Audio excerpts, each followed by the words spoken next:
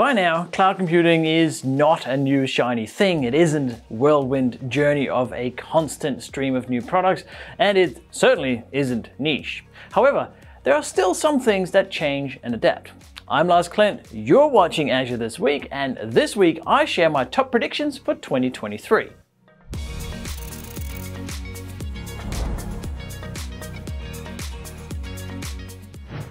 As opposed to last week, my five predictions for 2023 aren't a top five, but more of a like equal five. And we're starting with hybrid cloud computing. Now, many organizations are expected to continue to adopt a hybrid cloud model, which allows them to use a mix of on-premises, private, and public cloud services to meet their specific needs. This can provide great this can provide greater flexibility and scalability, as well as the ability to choose the most appropriate platform for different workloads and data. Hybrid is becoming more and more important as companies move gradually to the cloud, either with an aim to do it 100% or just have certain services on it. Azure will continue to invest in hybrid cloud services and products to make it as seamless as possible to move your Llama Party Planner app to the cloud including the Llama decoration generator, the directory of Llama themed vendors, and the incredibly Llama party social platform photo sharing thing. Yes, do it. Edge computing. With the proliferation of connected devices and the increasing amount of data being generated, there's a growing need for edge computing, which involves bringing computing power and storage closer to the data source. Now think sort of fruit quality data for each tree in an orchard, weather station observation data, live video streaming processing, and much more. Azure will create more hardware for running Azure services on the edge, and there will be more focus on moving data processing to the device that is collecting that data, such as an autonomous vehicle. It needs to know immediately what to do in any given scenario as it's, well, driving along and evaluating and reacting to the real world. If you want to know more about autonomous vehicles and edge computing, check out the first episode on my new podcast, Technically Possible. I'll provide a link below.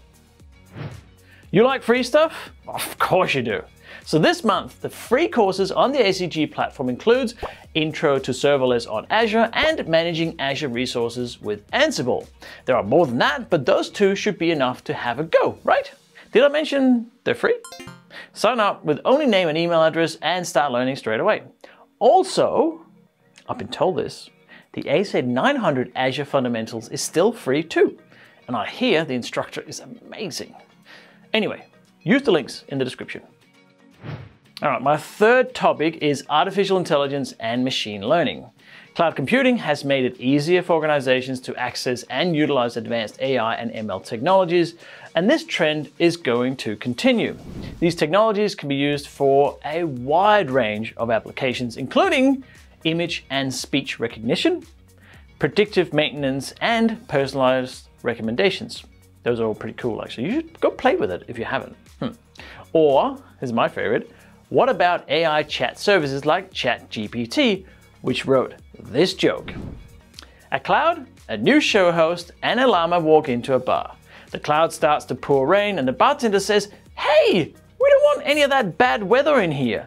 The new show host says, Don't worry, I'll just turn on the lights and we'll have a special report on it. The llama looks at him and says, I'm just here for the alpacachino. Okay, okay, that might need some work do fake clapping or whatever. That'll be fine. All right, the fourth topic is containerization. Containers are a lightweight, portable way to package and deploy applications, and they have become increasingly popular in the cloud. They allow developers to easily move applications between different environments and can help to improve the efficiency and scalability of cloud-based applications. Now we're going to see more focus on making containerizations your apps even easier and integrate these services with other Azure products. Perhaps AI in containers? Hmm. And finally, number five, security. Ensuring the security of cloud-based systems and data is a top priority for many organizations, and Azure will continue to invest in and improve their security measures.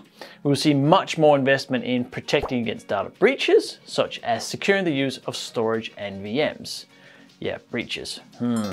Compliance with even more stringent regulations will make sure us cloud consumers and developers feel even safer using these services. And I would personally love to see something that monitors access and permissions to Azure, uh, Azure resources even more.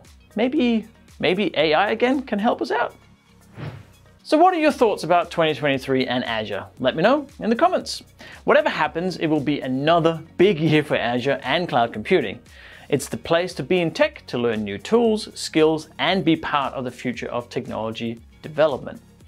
That's it for me, for this week at least, but if you're after much more cloud content, why not subscribe to this channel, follow us on Twitter, or maybe even start your own Llama themed app on Azure. In any case, take care, do more cloud, and stay awesome, Cloud Gurus.